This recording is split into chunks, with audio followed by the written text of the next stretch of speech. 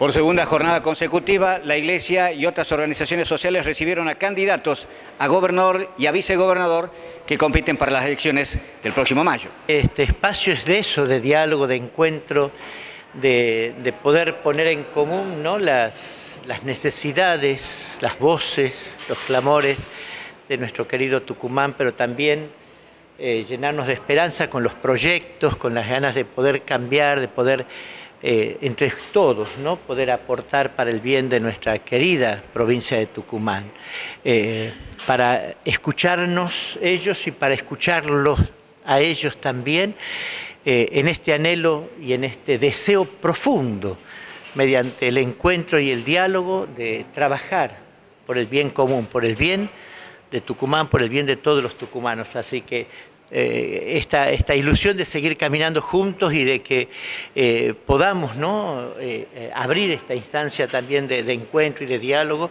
¿no? nos fortalece y fortalece también ¿no?